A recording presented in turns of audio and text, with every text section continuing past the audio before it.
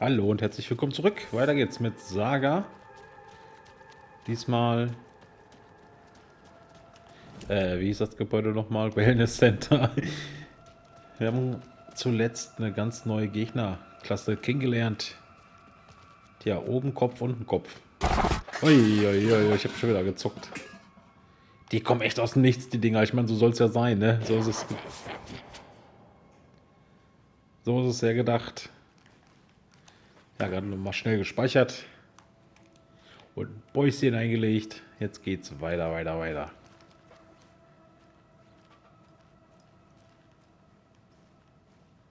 Hier liegt aber nichts, nichts, nichts. Schade. Sprach die Made. nee,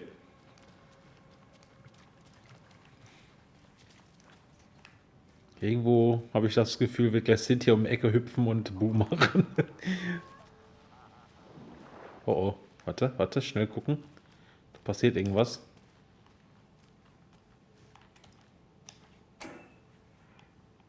Toll.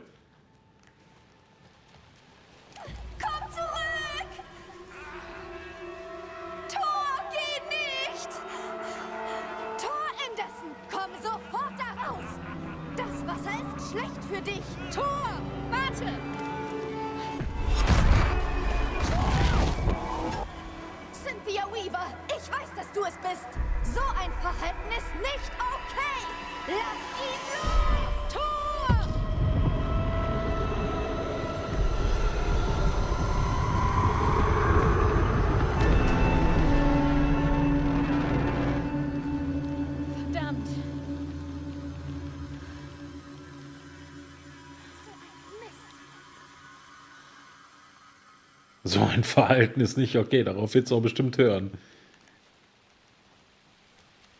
Ach du Scheiße. Erstmal guck, warte mal. Aha.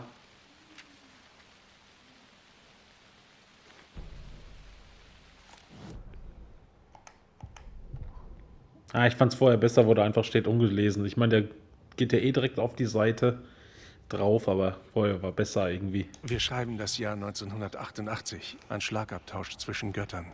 Am Rande des Cauldron Lake, hoch über seinem dunklen Wasser. Der Donner dröhnt. Die alten Götter stehen etwas noch mächtigerem gegenüber, das noch schwerer zu definieren ist. Oder um die Perspektive zu wechseln, allesamt rasende Verrückte, gefangen im Rausch einer gemeinsamen Wahnvorstellung. Die alten Götter, die Korsaren aus dem Meer der Nacht und der Dunkle, der sich dazwischen drängte, der schon immer dazwischen stand und bald dazwischen stehen würde. Wir helfen euch, ihr haltet euch von unserer Familie fern, knurrte Thor Anderson über das Donnern hinweg. Ja, bis ihr alle zu mir kommt, kam die Antwort. Das wird nie passieren, rief Odin. Ich werde das als Pfand nehmen, damit ihr euch an unsere Abmachung erinnert, sagte der Dunkle. Blut wölbte sich aus Odins Gesicht, als er auf die Knie fiel. Ein Lichtstrahl traf die dunkle Gestalt auf der Klippe und damit war sie verschwunden. Thor eilte zu seinem Bruder. Geht es dir gut, Bruder? In diesem Moment war er praktisch blind. Die Augenklappe bedeckte sein linkes Auge und seine Hand die nun leere Augenhöhle seines rechten Auges, aus der Blut sickerte. Odin fluchte. Der Mistkerl hat das falsche Auge genommen. Was? Was? Was ist das? Ähm. Ja, ist das ein altes Ereignis oder ist Odin bald ja, wird ja keinen Sinn machen, ne? Das wird wohl bald passieren dann. Also, obwohl es jetzt nicht so angehört hat, als ob es äh, ein altes Ereignis war. Aber Odin ist ja nicht komplett blind. Oder das ist einfach die komplette Verarsche hier. Sollen wir in die Irre geführt werden, ja? Na komm, wir gehen mal direkt hin.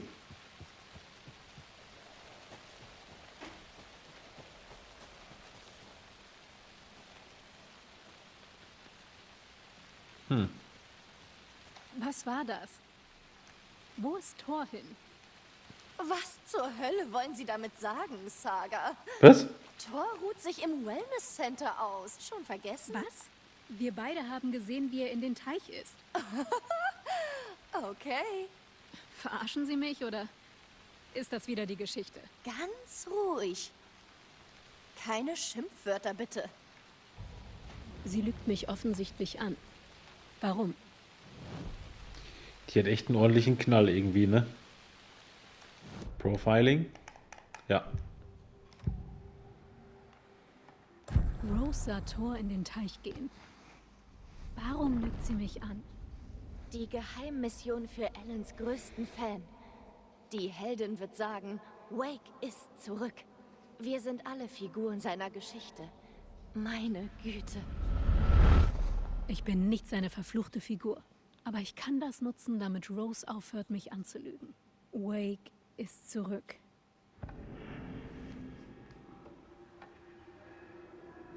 Cynthia nahm Thor mit. Was ist mit ihr passiert? Wenn Dunkelheit in den Geist eindringt, dann wird man verwirrt. Ich habe ihre Lampe in den Schuhkarton gelegt. Wie nennt man eine Lampenlady ohne Lampe? Spricht Rose von Cynthia oder von sich selbst? Oder beides? Hm. Hm, hm, hm. Die ist echt merkwürdig. Rose. Ah. Wake ist zurück. Oh mein Gott. Sie sind die Heldin. Sie sind hier, um Ellen zu retten. Oh, tut mir leid, dass ich Sie nicht ins Wellness Center lassen wollte. Ich habe Thor und Gale dort eingesperrt, nachdem sie durchgedreht sind. Ich wollte nicht, dass sie verletzt werden. Hier. Diese Seite hat mir Wake für sie gegeben. Oh, und sie werden meine Schlüssel brauchen. Ach so.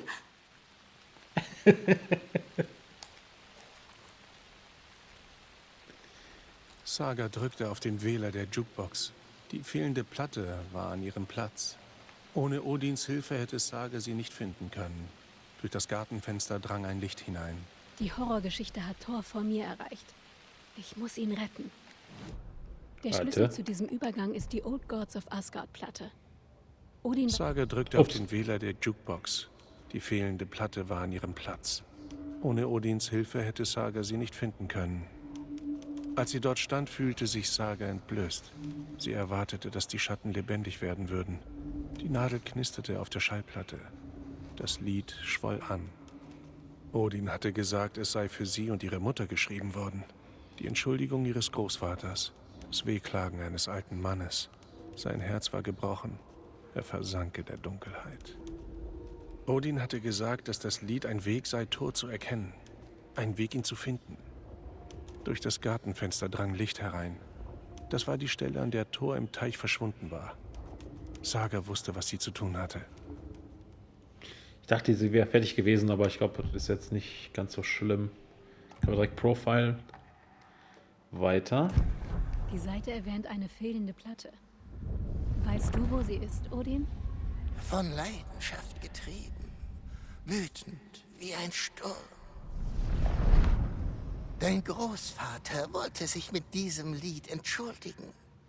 Bei deiner Mutter, bei Freya und dir. Thor ist wie ein Sturm. Deine Mutter tat gut daran, mit dir zu verschwinden. Auch wenn es deinem Großvater das Herz brach. Und meines. Hör dir das Lied an, Saga. Thor ließ nur eine Platte herstellen. Er bewahrte sie im Museum auf. Odin kennt den Namen meiner Mutter. Er sagt, meine Mutter brachte mich weg, als ich noch ein Baby war. Plausibel. Konzentrier dich. Die Platte ist im Museum.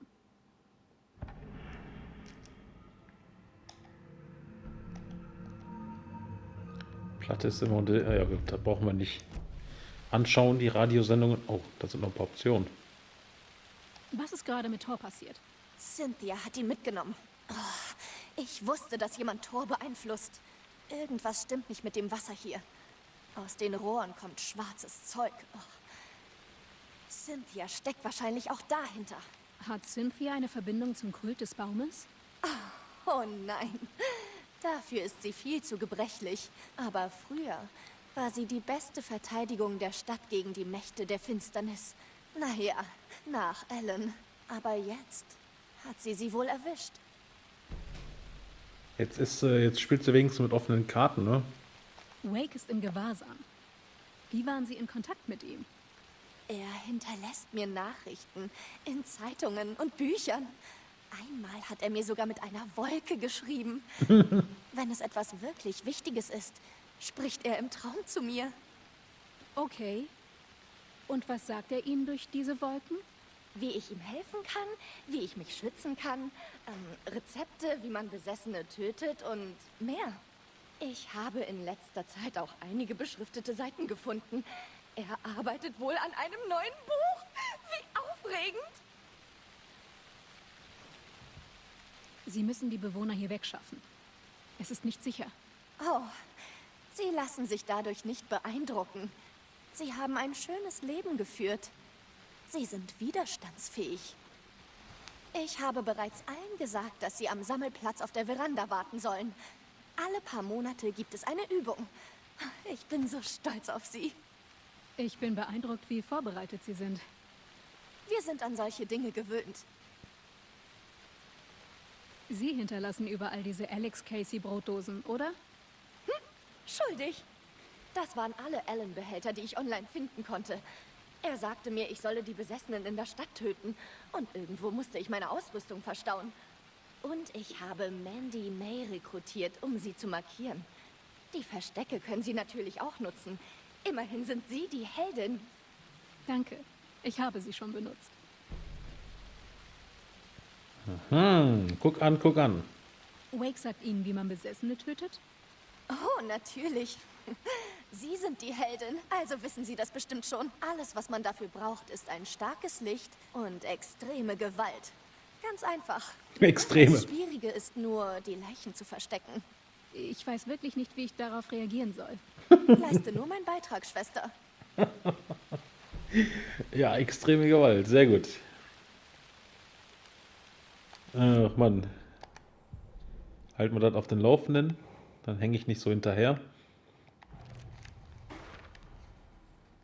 Kein Kultmitglied, ja, gut, das war klar eigentlich. Da hat sich jetzt nichts getan. Casey Lunchboxen, ja, steht so zu. Aber war klar, jetzt nach den ganzen Hinweisen, das Büro voll und so weiter und so fort. Die Frage ist, wo kommt das jetzt hin? Cauldron Lake, Bright Falls? Hier? Nee. Hier. Rose Marigold hat die Lunchboxen für mich dagelassen. Alan Wake hat es ihr aufgetragen. Ich schulde ihr wohl was. Ja, alles aus der Geschichte dann, die Wake äh, am dunklen Ort immer schreibt, was wir dann separat erleben, so, ne? Hat man da wenigstens auch mal so ein Gefühl für die Zeitspanne. Also ich zumindest.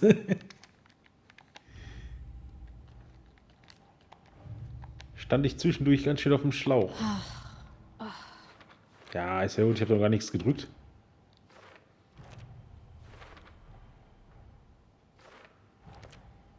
Oh, na gut, so geht's auch. Geht alles von alleine, wunderbar.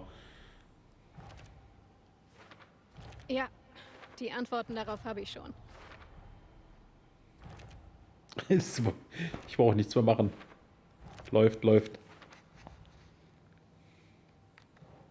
Dann noch das. Tor verschwand im Teich. Ein weiterer Übergang. Es muss einer sein. Wie komme ich hinein? Ja, da bleibt die Frage, ne? Warte, warte, warte, warte, warte.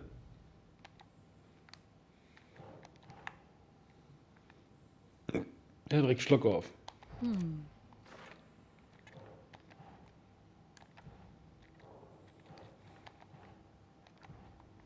Ja, dann kommt das da unten hin.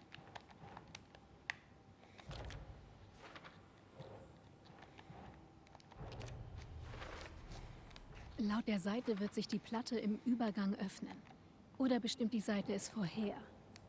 Spiele ich die Geschichte nur mit? Ich würde sagen, bis zum gewissen Punkt sollte sie das besser tun. Besser ist es, wie man so schön sagt. So, dann haben wir jetzt die Möglichkeit. Ja, im Herrenhaus äh, die restlichen Räume zu untersuchen und auch die Platte dann halt zu besorgen. Ne? Ich hatte außerdem voll den fetten Irrtum, ist mir beim Schneiden aufgefallen und beim Rendern. Ich habe ja, Arti sagt ja vorher noch klipp und klar, er war nicht Teil der Band, er ist nur mit ihnen aufgetreten, also als Vorgruppe oder danach, aber eigentlich normalerweise als Vorgruppe. Und ich dödel direkt, ja, ja, der war der Gitarrist. Ja. Wenn man richtig aufpasst, dann hätte man das gewusst, ne? ich Idiot.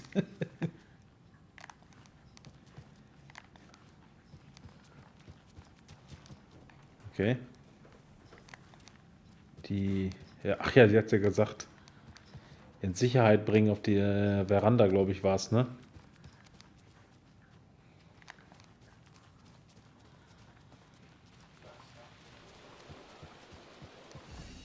Alle versammelt. Beim Notfallsammelplatz.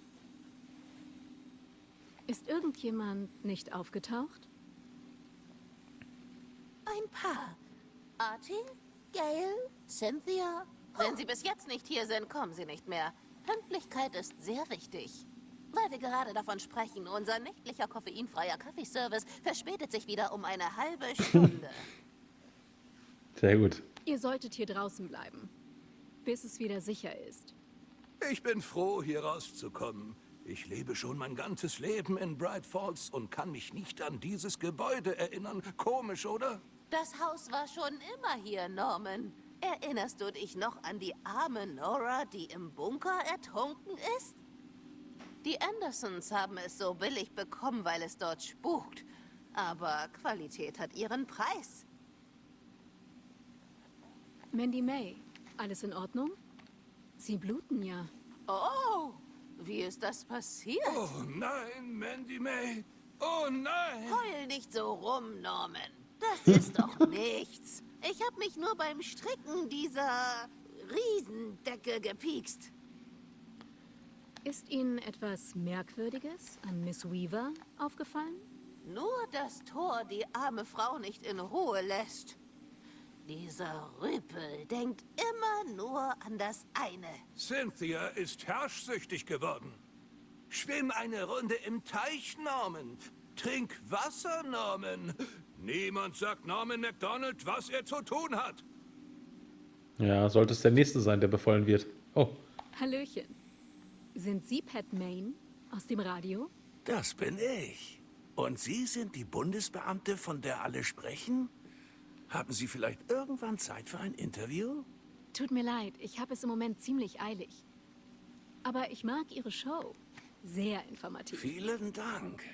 Bei Qualität darf man keine Kompromisse eingehen. Wir würden Sie zu gerne in unsere Show einladen. Meine Zuhörer und ich. Veranda, Terrasse, was auch immer. Äh, Ich komme schon wieder, ich komme immer so voll, als ob ich hier irgendwas falsch gesagt hätte. Nicht voll spacken. so, die quasseln da noch vor sich hin. Aber das fand ich jetzt mal ganz interessant zu sehen, ob die noch alle wirklich da sind oder nicht auch schon längst befallen sind. Da hatte ich irgendwie so ein Gefühl. Rose, die vielleicht in Sicherheit wiegt und äh, im Glauben ist, aber nö, nö. Denkste. So, auf der Etage sind wir durch, ne? außer das Kissen, aber das kann, kann ich hinterher aufheben. Zwischenzeitlich Traumakissen.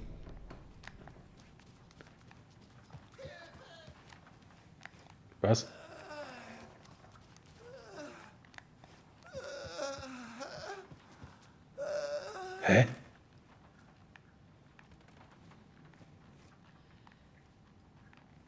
Was war das denn?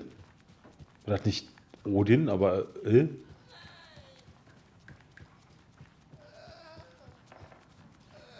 Hört sich voll falsch an irgendwie. Was ist das?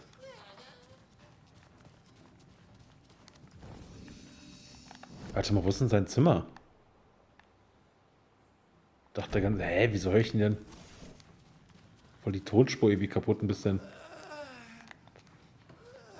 Oder eher gesagt, der Ort, wo das ist.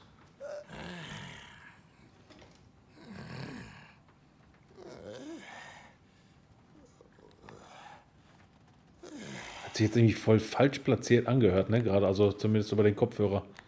Erst als ob es auf ähm, im Erdgeschoss wäre, dann, ja, ich bin da nicht umsonst eingelaufen halt. Ich denke mal, brauche ich jetzt nicht erklären. Donner. Ach so, das war ja unsere Fitness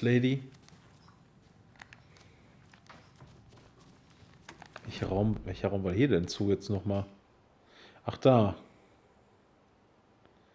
Ähm. Donnertor, Odin-Pad. Schauen wir mal direkt rein.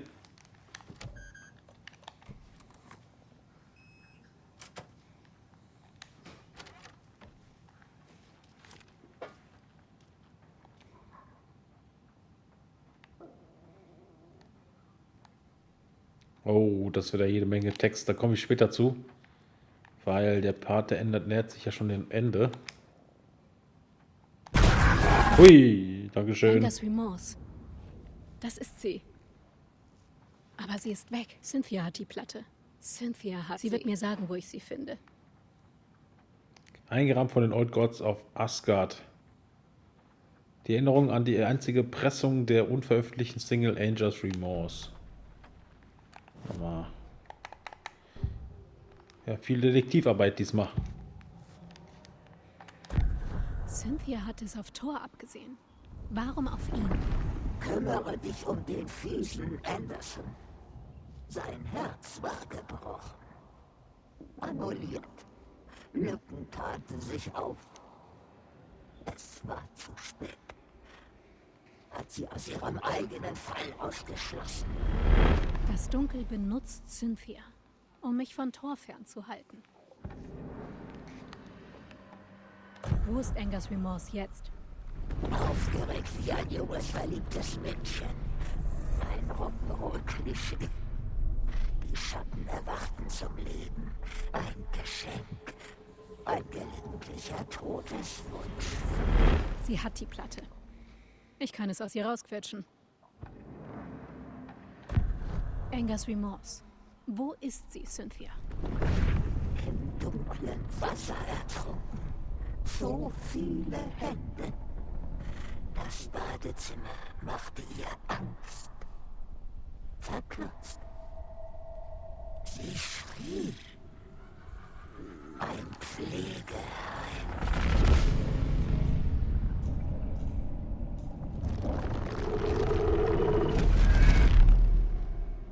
Platte Angers Remorse ist bei Cynthia.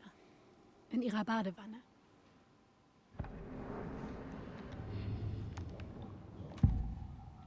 Zu guter Letzt. Angers Remorse fehlt. Wer nahm sie mit? Ja, ach so. Scham wird zum fahlen Pferd. Oh, Thor, Bruder. Thors Liebe ist in dem Lied zu hören. Und Cynthia möchte ihn damit ruinieren. Sie hat Thor verführt. Vor Jahren bekämpften wir eine kratzende Hexe. Jetzt ist er wieder einer verfallen. Wir verlieren ihn vielleicht für immer. Ein Anderson weniger. Das wird nicht passieren.